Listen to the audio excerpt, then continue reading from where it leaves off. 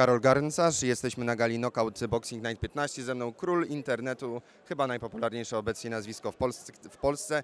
Marcin Najman, miło mi Cię e, przywitać. Witam serdecznie. Powiedz, e, co Cię tu sprowadza i jaką rolę odgrywasz, bo e, coś nowego.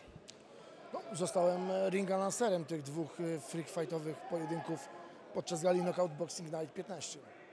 No i jak się, jak wrażenia po tym?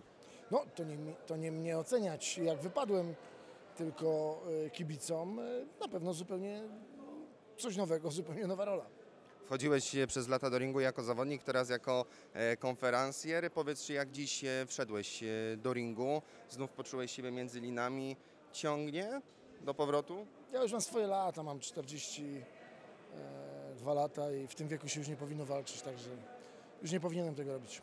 Powiem Ci Marcinie, że byłbym w stanie w to uwierzyć jakieś pół roku temu, ale od tego czasu pojawiła się nowa persona e, w polskim internecie. Pan Jacek Murański, nie mogę nie spytać o niego, bo mam wrażenie, że Wasz konflikt e, wybuchł. Nie wiem, czy Wy w ogóle kiedykolwiek widzieliście się prywatnie, czy to jest tylko na linii internetowej ta, e, ten konflikt? Mieliśmy okazję się kiedyś poznać. Widzieliśmy się chyba dwa razy w życiu. E, Powiedz mi, jak blisko jest e, do tego pojedynku, bo e, Jacek Murański wyrażał zainteresowanie walką z Tobą, Ty zgodziłeś się na jego warunki, ale teraz Jacek Murański jest zawodnikiem, którego reprezentuje prezes, jeden z prezes, prezesów FEN-u.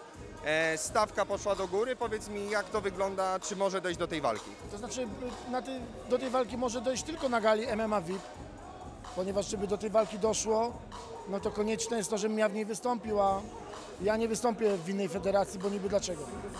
Nawet za pół miliona? Ale oni tyle nie ma, nie, no to nie ma sensu dywagować, bo oni tyle pieniędzy nie mają. Jak ty, jak ty reagujesz na takie zaczepki e, państwa murańskich, bo jest w to wplątany syn i, i wplątany pan Jacek? Jak ty to odbierasz teraz? Ale najostrzejsza i tak jest y, żona Jacka Murańskiego. Ostatnio pokazała, że jest najostrzejsza z, z całej trójki. Oglądałeś e, piątkową galę FEN? Nie? Natomiast widziałem y, to, co się działo poza galą w kulisach. Dlatego właśnie o to pytam. E, Państwo murańscy przeskoczyli teraz e, z fejmu do FEN-u, czyli Marcin Najman mówi definitywny nie dla organizacji FEN. Tak. Znaczy mówię nie dla e, organizacji FEN i taka walka może się odbyć tylko na, podczas gali MMA VIP. E, Najbliższa gala już 18 czerwca. E, Jak przygotowania? Czy wszystko jest w porządku? Wszyscy zawodnicy zdrowi? Tak, karta walki jest dopięta, e, wszystko idzie swoim torem. Rusza teraz ostra kampania promocyjna tej gali i mam nadzieję dużo, dużo emocji.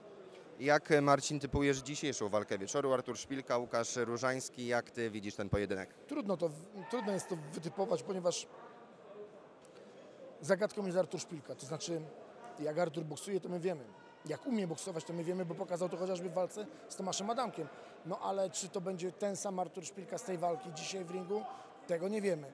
Natomiast wiemy, czego się spodziewać po, e, po Różańskim. No, ofensywnego stylu do przodu i bardzo ciekawy pojedynek. Super, dziękuję ślicznie za wywiad. Życzę wielu emocji dzisiaj. Cześć.